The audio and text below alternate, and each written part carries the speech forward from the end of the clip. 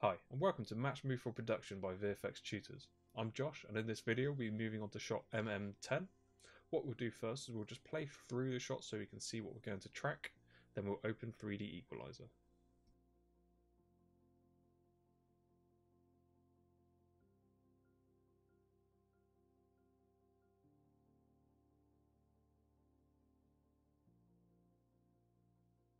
Okay, so we've opened up 3D Equalizer, um, and as you can see, we've got our basic user interface here. We've got all our windows open that we've used from the previous shots. Um, if you've not got this, you may see something like this, which is a uh, not particularly useful. So what we'll do if we go to the bottom left where it says environments, and we'll select basic. And this will give us our basic user interface, give us all the windows and tabs that we need to complete our shots. So First of all, we need to load in our image sequence. So if you've downloaded the data package, that's great because you can follow through this tutorial step by step, um, and it'll be a massive advantage to you because you'll have all the data to create your match move reel and say if you're just using it for the data and you want to put something CG in there, you'll have all the data as well to um, render some nice CG. So first of all, we'll go to the top left where it says sequence one camera. And this is our sequence camera and we want to load in our image sequence. So if we go over to the right where it says live action footage, if you don't see this, you might be in a wrong tab, you might be in a different one. Make sure you're in the camera one. And if we go to browse, then we need to navigate to our image sequence. So you should have MM10 post-apoc, post-apocalyptic, and if we click on plate and UHD, we should have some files in here. So if you click OK, and now it's loaded in, and as you can see, it's dark because all these uh, image sequences have been transcoded over to a linear color space. So you don't have to worry about any of that, it's all been done for you. So what we need to do, we, we can't really work like this, so what we'll do, we'll go over to our right and there's a tab here called 8-bit color conversion. And if we click on the triangle, it'll open up. What we want to do, we want to go to our gamma settings and change this to 2.2 and this will bring us up to a more usable color space. So now we've got that done, we want to export out our image cache because at the moment, if we try and play through, it's very laggy and we can't, if we try and press spacebar, it's not going to play. So what we want to do first, if we go to 3DE4 at the left, and I'll save our project first. I'm going to make a file in here. We click OK.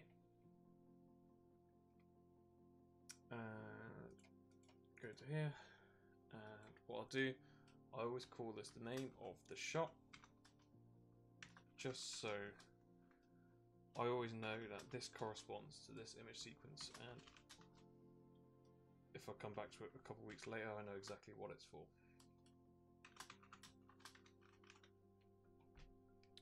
Okay, now we need to go over to playback here and click on export buffer compression file and this will cache out all our images. So this may take a while so I'll probably fast forward this.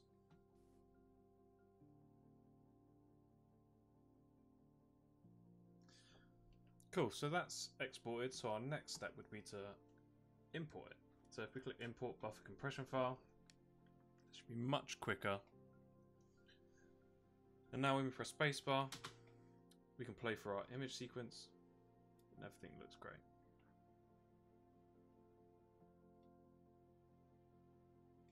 Cool.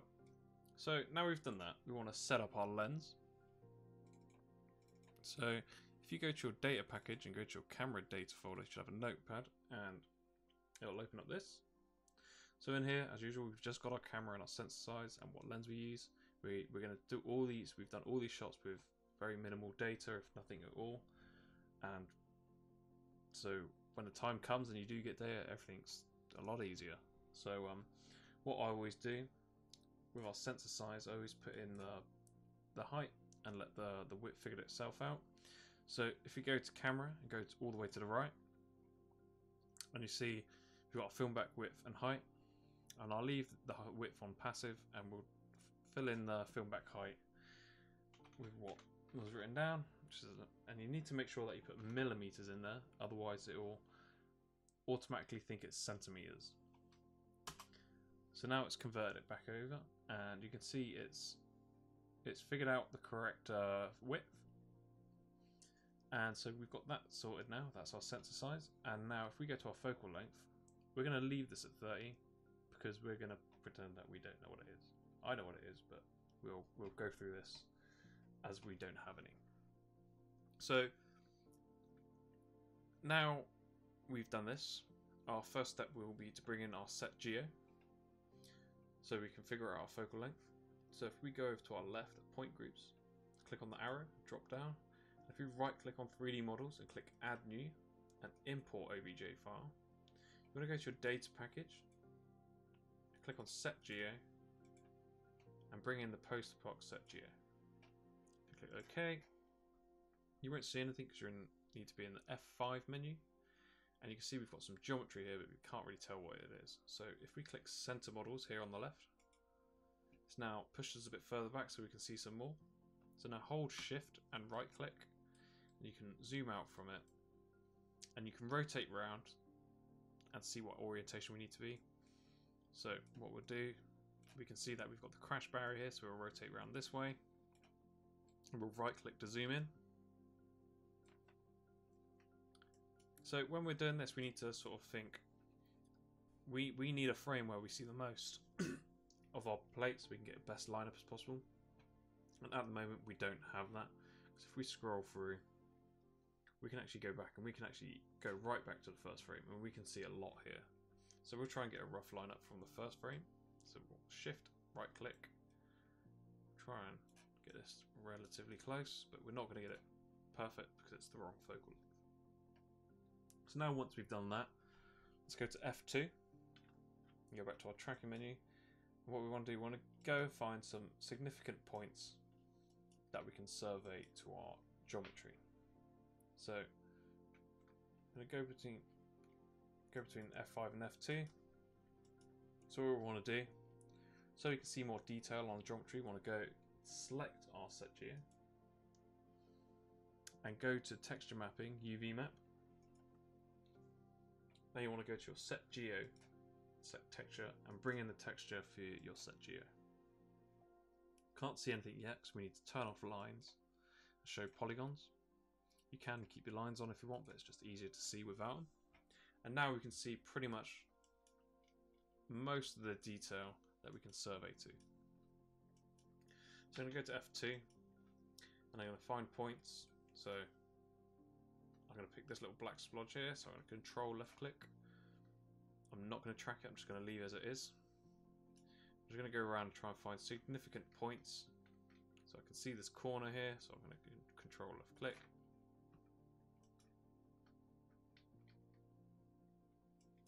I'm just going to go across.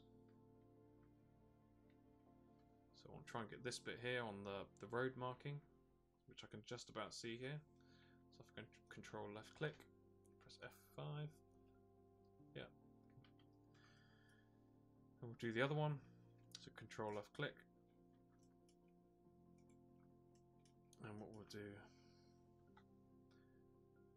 go there as well. And we'll get this other block here, control left click. And See if we can see some bits on the ground. What we can do, we're seeing it quite uh, straight down. See if we can rotate it around, see if we can see a bit more flat on to get a better look. So I'm just going to rotate it up so I can see a bit more of the ground. Get F2. See if we can see any of these like patches here. I think this little patch of gum or wet patches is this patch here. It's a bit fainted, so I'm going to go control left click there. And I think that's that bit. So I'm going to go to F2. I'm going to select all my points by shift and left click. I can see I've got a fairly decent spread for a start. So what I'll do, I'll just start with this. So I'll select my first point, and that first point was this little black splodge here. So I'll go to F5. Can see it here. So I'll go extract polygon and you see it's made this zebra line What do you want? And it will highlight the polygon, but you want to try and get it as, as close to the black dot as possible. So now we've extracted that polygon and placed that, given that 2D point uh, a 3D representation in 3D space by placing it in that point. So now we want to do this for all the other ones. So we go to 2, and 2 is the corner of this block. So extract polygon, we'll select the corner of the block. We can always see we start to pull us down, still a bit off, but it will be because we're at the wrong focal length. So go to F2, press F5, and this is that like T shape on the road marking. So we'll rotate it down so we can see it a little bit better. Extract polygon, it's about here. F2, 4, and it's the other T shape on the road marking. Which you can see a little bit clearer. Click extract polygon. And it's flipped over. So what we can do is go to F5 So obviously our view, so if we can hold shift and left click, we can try and bring it, because sometimes if we got the wrong focal length, these lineup points are going to do something a bit funny. So what we do, we hold shift and left click to sort of bring it back round. And if we have, if we select our fifth point, extract polygon, check an F2 and it's on the corner of that bit, which is like here. It's still gone a bit funny. It keeps flipping over, which is not great. So to F2. And we know this is the corner of that other block. So go to F5. Now we can go to F6. Rotate round with our left click. And we can just, double check. So we go back to actually go back to F5. And we'll rotate it to around again. Oh, and it's come back. So we've got it back in a sort of reasonable place. So with our sixth point selected. We'll go extract polygon. Double check. Oh, we're on the wrong frame somehow. So that might be why it's gone funny. So if we go match frame, no, it's still gone funny. Sorry. So if we shift and rotate around, this is the sort of odd effects that you'll get if you're at the wrong focal length. So we've got that and we'll extract that now. Let's popped it back. So if we go to our seventh point, which is that little splodge that we found, so that's here. So we can see that shape, this, this pair of splodges. We'll extract polygon. We'll place that there. So obviously it's looking absolutely awful at the moment. So what we'll do, because we're at the wrong focal length, we'll go to the lens. We'll go to focal length and we'll click fixed and change it to adjust. Now we're going to go to Windows, Parameter Adjustment window, and change Brute Force to Adaptive, and click Adjust. And this is going to adjust the focal length to the best fit of our survey, and we can rely on this quite well because we know that where we surveyed it is, is, is pretty accurate. So if we transfer the parameters, we can see it's not changed anything until we press Alt-C. It brings up this dialog window shows us our single keyframe of our single tracks and our yellow points of our 3D points. So click use result, we can see it's popped into a logical space. So if we click on 3D models and flick between, that's pretty much pretty much perfect. It's probably a little bit off from the distortion so now we know we've got a focal length of 18.54. We can probably guess that we can bring in the lens grid, uh, the 18mm lens grid. So if we go back up to our camera at the top left, select it, and click right click, and click add new, reference, make sure you select reference camera, double click on your reference camera, and what we're going to do, we're going to go to live action footage and click browse. Now you want to navigate to your lens grids and deselect sequence view so you can select your 18. So got 18.54, so it could be between 18 or 19. Um, I'll just pick 18. Click OK. Now we've got a lens grid, but now we want to go to F3, and this will bring us to our distortion menu. So what we want to do, we have this uh, red rectangle with lines and dots, which is our distortion matrix. So if we click and hold this top left one, we'll notice that there's zebra lines. So when they the zebra lines pop up, just let go and it will snap to the corner. And we want to do that to these four, these three corners here. So we'll pick this corner here as well. So now we've got three points on these corners. And if you've got a lens grid that's shot really clearly, like this one, you can just click snap and it will pop into place. So now we need to completely fill this lens grid. So holding control and press up, we can start adding more rows to the column and the same with control down. Now we have one central column filled out. Then we need to fill out left and right as well. So if you hold control left, go all the way to the edge and control right.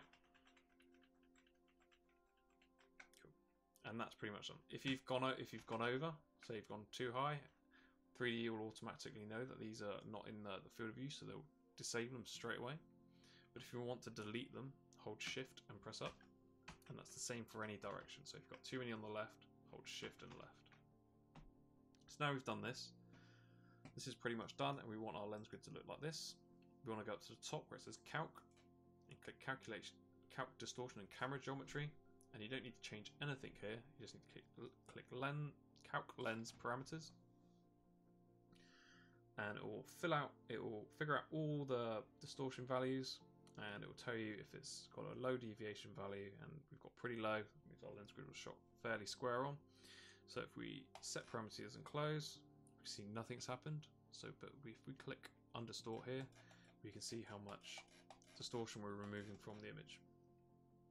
So now we're done with this distortion grid. If we go back to our sequence camera up at the top left and double click on it we can now see how much distortion has been removed from our image sequence which is quite a lot. So if you now press F5 and press Alt C to resolve, see it will pop into place. So now if you click your 3D models, the lineup is practically perfect. We can try and improve it. Let's add some extra points. So see if we can see any extra ones we want to add. So we can just about see this little patch here. So if we control left click, press F5, turn our 3D models on, we can see about it's just about there. Extract our polygon to there. And what we want to do, we want to go to our parameter adjustment window, clear it, and adjust it one more time. So it's going to give us a slightly different value now we've got the distortion on. So if we transfer the parameters, you can see it's slightly changed. Press Alt C, use result, and if we flick between two, they practically line up absolutely perfectly. Cool. So now we can go to our 3D model. So if you select a 3D model here, we can turn on our lines and turn off our polygons. So now we can see the wireframe. And then we can see it's pretty close. It's pretty much bang on. And this is what we want to get. So now we're done with the, getting this lineup pretty much perfect. We want to store our pose, and this will make a keyframe at the first frame. That if you lose your uh, position somehow, you can recall it, but remove poses right next to it, so don't click on that by accident. But what we'll do, we'll store away our points so we don't lose our position, so we can always come back to it if we lose our pose. So if we select the top one, top point, and hold shift and select the bottom one, we can select all of them so if we click right click and add new, select point set, we'll call this SF. Click OK, it's SF for single frame. And if we select all our points again and hold the middle mouse roller and drag and drop it under that. So now what we need to do, we go back into our, S, our single frame folder. With, all, with them all selected still, if we right click on them, we need to go to modify, calculation, and disable them because if we leave these on, there's going to cause havoc with uh, our solve later on, and we don't want them on. and we also don't want to see them. So if we go to View here and click Hide Selected Points, and that's pretty much it for our lineup. We've got a really good lineup. Everything's working. So our next thing is to start tracking it. So if we go to F, press F2, we can now start tracking points. So we want to start, we want to pick points that we can see throughout the entire range. So I'll like to scrub through and just see what we can see because they're going to give our best results. So if we can go here, select this little bolt. We want to reduce our tracking area so it doesn't see that one. If we click gauge marker and track, you can see it's floating around like mad because we're not on center 2D. So if we click center 2D, we can now see that we're pinned on it. You can see it's working pretty well. So we can get rid of this uh, crosshair in the middle. This is for our lens centers. So if we go view, show FOV, it kind of gets out of the way and it's not so annoying. So we'll just go through and we'll track bits and pieces. We'll get this this uh, junk um, this marking here. Look at gauge marker and track. You see there's quite a bit of inertia, um, just uh, blur in here from the, the shaky handheldness, so it will be a bit. The tracks won't be absolutely perfect, but they'll be good enough. As long as they're staying in the right area. I do start from the first, then go all the way to the end, and find a point at the end. Then I'll track back from that. So put a gauge marker and track. I'm starting to track backwards.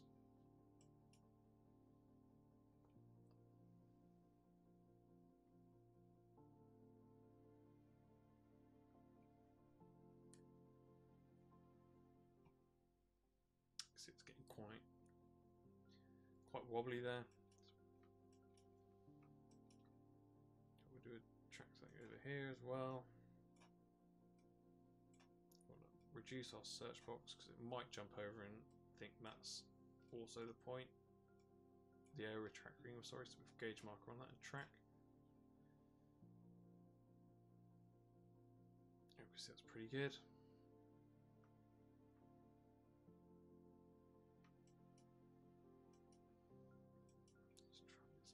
We want to avoid anything that's got the reflection on the water because if you look at it, if you look at the reflection of the water, you can see the it sort of changes. There's stuff going through it, so we want to try and avoid tracking stuff like this. You can see the color and the, the shape of it changes. So let's uh, look for other bits to track. This is splodge here, on the edge. Gauge marker and track.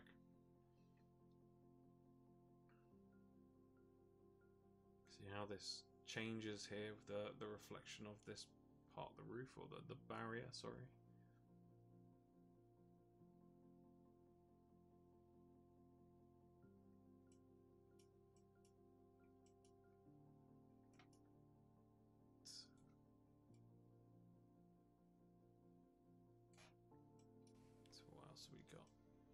Got a lot of stuff to track that's easy to track, but we want to pick stuff that's going to be really useful to us.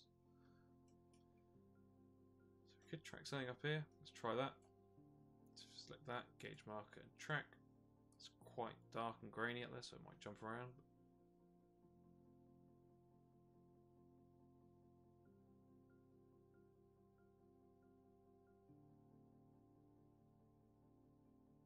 Seems to be fine.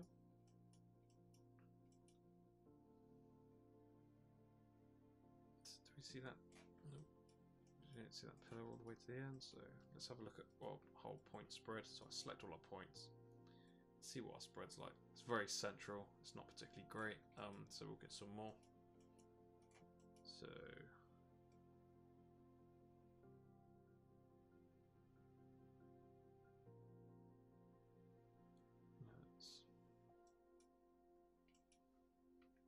track this bit here. No, it doesn't last the entire frame range, but you know what, slipping off, which is probably something to do with the reflection. See how it changes there. Well, actually, if we go back to the first one, we can do try and track this black splodge. It might be a bit too faint. but It's worth a go. Gauge mark and track. Oh, and it comes off. So you need to make sure, if you don't end that point, it's going to do this. And if you leave a point that's doing that on the edge of your frame, it's gonna it's gonna destroy everything. So we need to make sure if it starts going off, go back a couple frames and end the point so it turns off. That's really important that you do that because that will just wreck all your work if you don't.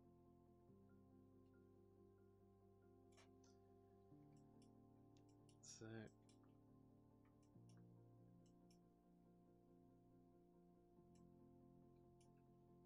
let's actually get this bit here because we know we've lined up to that bit it's worked pretty well so if we gauge marker and track you sort of see that's working pretty nicely. it is jittery from the, the inertia blur.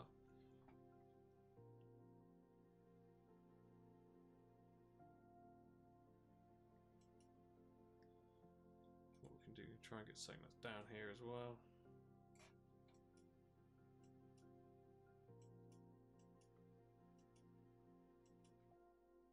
So we can go to our because we've got quite a lot. There's not that much contrast, and so if we go to our windows, go to image control window, and we bring up this window, and we click enable image controls enabled, and click color controls enabled.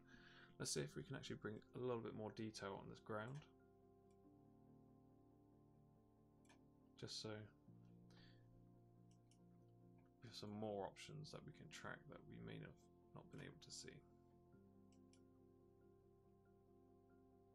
So let's track something here. Gauge marker. Track. Obviously this is not going to last the entirety of the frame range, so we'll have to find something that overlaps with it as it goes out.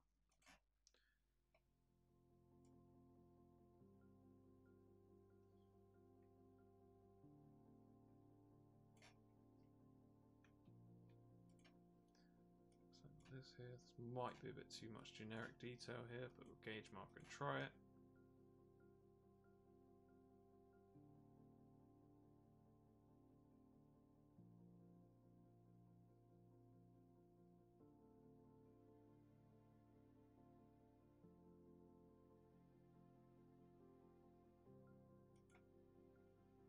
And it goes off, so we'll just end it before it goes off.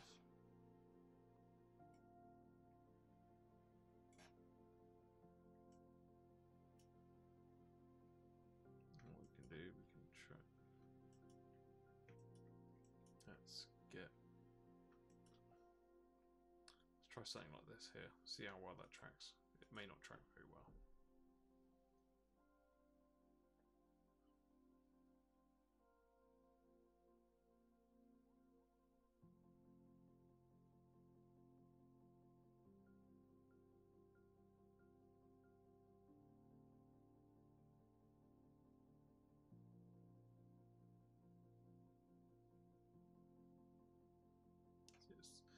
This tiny little bump there? See that? See how it pops off? You want to go back a couple frames before it does it. Resize your tracking box and gauge marker again and track. Hopefully it won't do it again. Cool, so now if we we can turn off our image controls. What we're going to do, if we go back to F5, select all our points. And we get edit project points on 3D models. And 11 of 11 is projected. So if we now go Control, oh, sorry, Alt C to solve it. Now it's opened up our solving dialog window that shows us our keyframes on our camera. And you can see see all our keyframes. You can see it's a hand, very handheld movement. You can almost see the, the the walking stance. So it's like left foot, right foot, left foot, right foot, left foot, right foot, and walking around.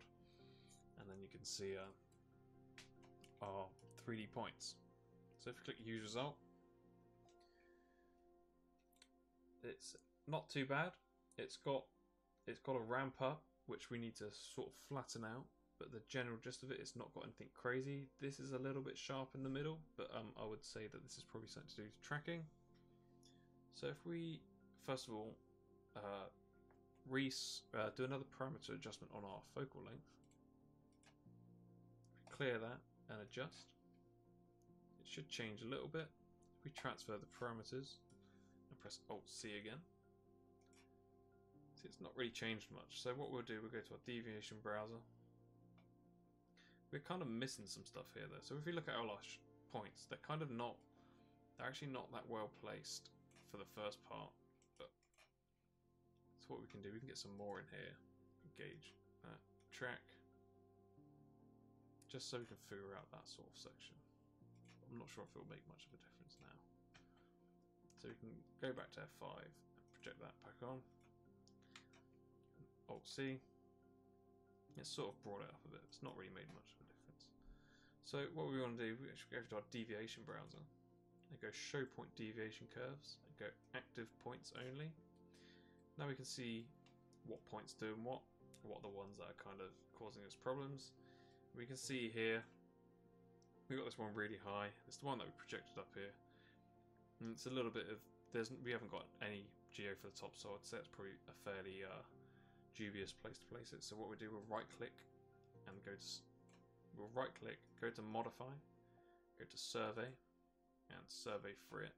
So now we press Alt C to resolve it, and we'll see where that puts it.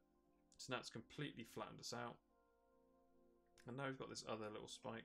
I think that's the one we added. So we also we'll survey through that.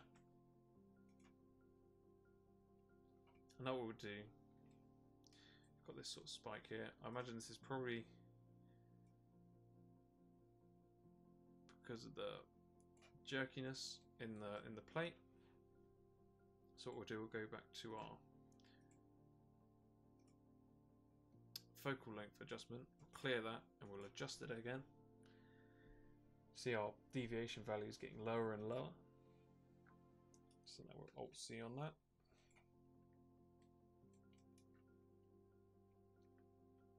So what we do, because we can see there's quite some large spikes, and then we can look at our tracking.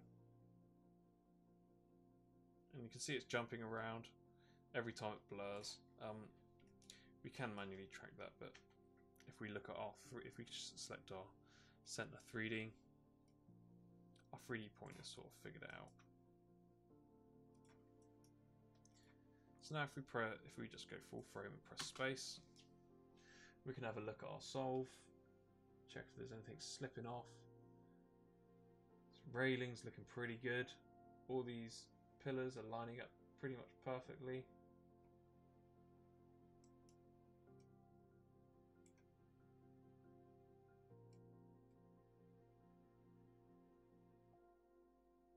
Some. So we might need to add something a bit down here on the left. So if we go to F2, let try and find something because we've got nothing here. Gauge marker.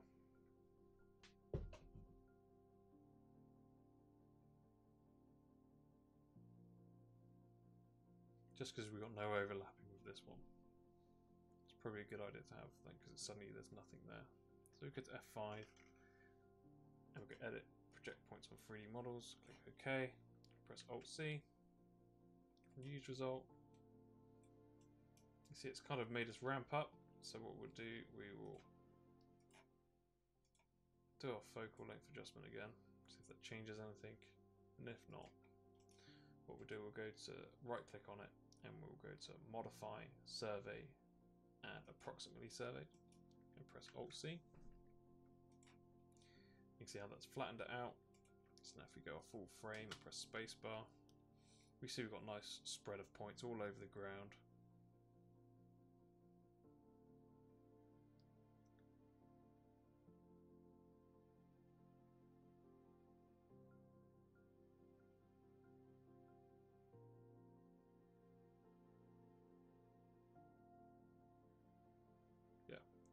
So anything you put here on the ground is going to stick pretty much perfectly now. If you're around, if you look in on the, if you have anything parked here or some stuff put in there, it's going to sit pretty nicely. Cool. So we are done now with uh, the 3D equalizer side of it so far for the tracking. There are three other things that we need to do. We need to export our camera out. We need to export a, a nuke LD node, and we need to render off a D lens uh, undistorted plate. So what we'll do first, we'll save it before we but before we save it, we'll just double check our geo. So if we select our geometry, our set geo, go to 3D model, and we'll make sure set ref is reference only is checked. So now what we can do, we can go to 3D, save project as, and we will, I'll just save over the top. So now what we want to do, if we go to export project, go to Maya, we want to make sure our start frame is the start frame of our image sequence, uh, and then export file, and we need to call it the same name as our image sequence so we don't get it mixed up or any confusion between cameras. Come back to this a couple weeks later and you don't know what it is, you don't know what it is. So naming everything relevant to what they are is, is really useful. Cool, so I've called that post-apoc BGO1, cam VO1, and I'll, I'll just right click and copy this, because I'm probably going to have to type this a couple times. That's that exported. So now if we go to File, Export, Nuke LD node, and click on the file name, if you right click and paste, we want to change cam to Nuke LD node, and this will be the distortion node that the compositors will reapply to any CG after they finish their comps. Then lastly we need to go to 3DE4 again and run warp 4.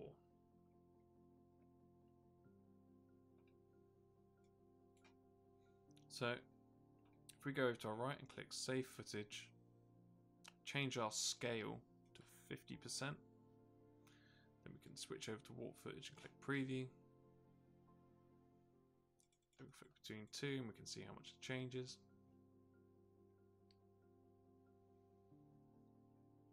So now we need to go to browse.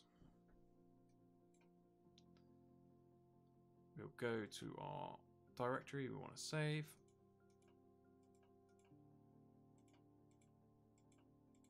Save it in here. You need to make sure it's a new directory, otherwise you'll fill up your files up with loads and loads of images. So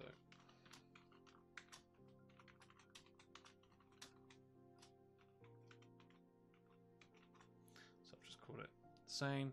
I'll, I'll select all this, right click and copy, so I have to type it again. I'll go into the group. I'll do a right click and paste. And what you need to do, you need to make sure you put dot four hashes dot exr. Otherwise it won't render out as an image sequence, it will just render one image. So click OK.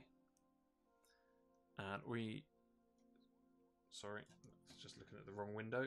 So what you need to do if you go over to save footage, browse, keep it as an OpenEXR here, change your scale to 50 and when you're and go to browse.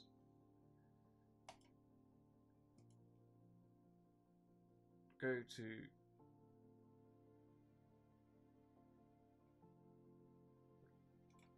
so if you So if you open up this, and if you click save footage, make sure your scale is at 50%. OpenEXR is left. You can preview it. And you can click between two and you can see how much is difference between the two. Then you want to go to browse. Go to the directory you want to save it. So I'll go to there